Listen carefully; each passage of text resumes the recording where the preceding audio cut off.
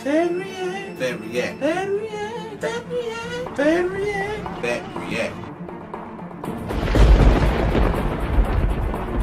Hitting that play button. Welcome to the Sensitive Place to Be Children Mercedes back with some more So they had the PlayStation State of Play uh, yesterday. Now I don't usually check out the State of Play. That's usually what Swag does, and Swag will you know do like a whole live stream of it and check it all out and break down the trailers and all stuff like that. So unfortunately, Swag has been very very busy, so he uh, hasn't been able to do that. And usually I watch State of Play, I only see certain games I like. Let me tell you something. The Ninja Turtles is a Ninja Turtles collect, collecting pack coming out with all the old Ninja Turtles games I used to play when I was younger, especially Turtles in Time. That's the only one I most care about. If I see other ones that that, that uh, remind me of that, let's go, bring it on. I hope this is for all the systems and not just PlayStation. I'm not sure yet, but it was the PlayStation, State of Play. So let's check this thing out, shall we? All right, hitting that play button.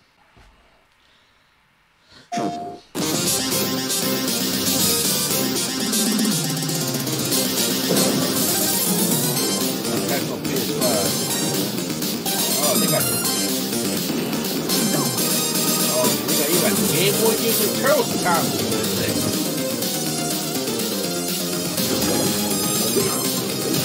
Is that Tournament Fighters?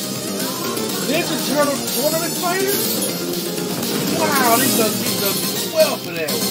This will be the trophy. Turtles time, there. Listen, uh, Tournament Fighter stuff.